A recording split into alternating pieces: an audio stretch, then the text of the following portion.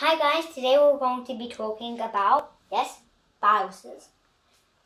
So, the, the first part is I need to explain what a cell is because you might be, because that's something you might be needing in order to understand this. So that we've got this line here and yeah. Mm, sorry, this, we, it might not be the best thing, but yeah. So there were millions of tiny cells in making us, because us you might not be able to see them, but these these are like these are basically what cells look like. Yeah, and yeah, and though we we it's hard to see, okay. So these are cells under a microscope. Oop, and yeah. So I'll go into that. So we're going to talk about oh, how viruses infect us. So viruses, so we've got the type of virus infection. Viruses infect you, you in two steps, making duplicates in the cell and exploding the cell. There are two ways that either infection happens. And so virus infection one, and that's the first way to infect. This virus grabs onto the cell and injects DNA or RNA and takes over the cell.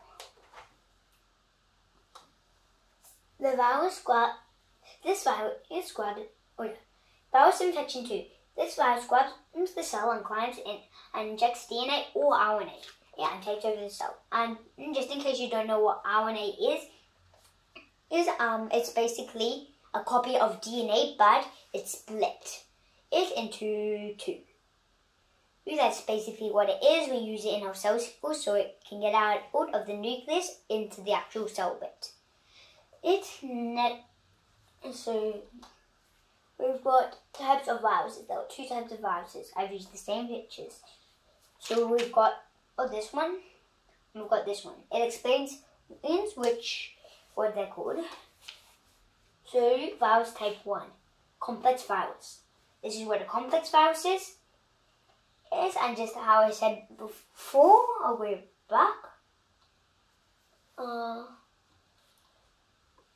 this is the same cell. This this is the same thing. This virus grabs and injects this DNA or an RNA and takes over the cell. So we basically this is is um a virus and it as you can see eat this this one grabs onto the onto the cell and then what it does it so like a needle, it like like if you have ever had the flu shot before, which I'm sure you have, um, you, they stick a needle into you, and then and then they, and they put push it in. That's basically what that what's happening. Mm, that's basically what this virus does. So, and then instead of putting in like something, it like ik maybe the, the flu vaccine or no. Well, it, instead, this one injects RNA, I mean DNA or RNA. Yeah, and yeah. Next is is virus type two. Spherical, spherical, spherical virus. Sorry, I may have not said vehicle. I can't.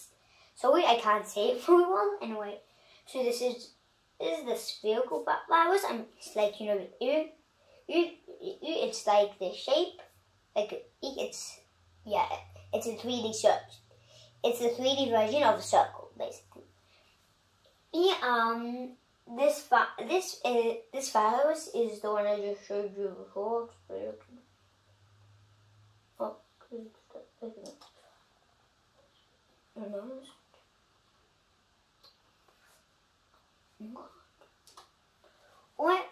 This this is the same virus.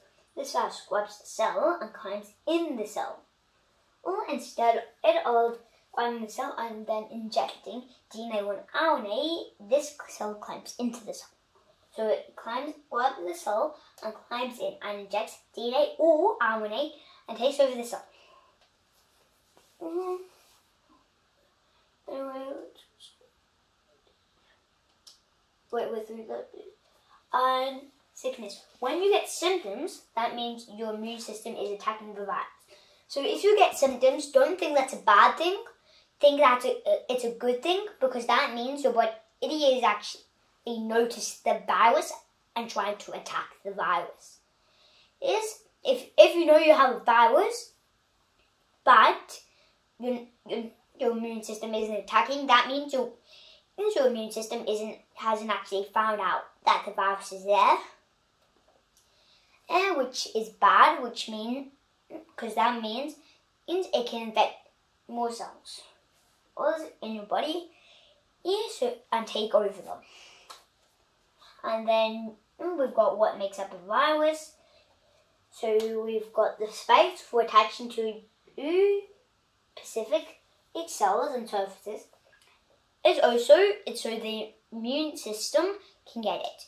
It's probably not, not why the virus has it, it's probably to get the, the cell, but it's a way that the immune system can attack the virus. Um, but, and it only works with some viruses. It might not, if it doesn't have the information on it, it can't, and it's not the right shape, it won't be able to work on it. And then you've got the envelope, which is basically something that's protecting it. This virus isn't isn't like the virus one, so and the rhinovirus one would it wouldn't look like this. So you've got the envelope, the it's the first bit of it, and then you've got the protein. Then you've got the protein coat. It's basically the envelope, but it's a but it's just a little. It's a little more inside.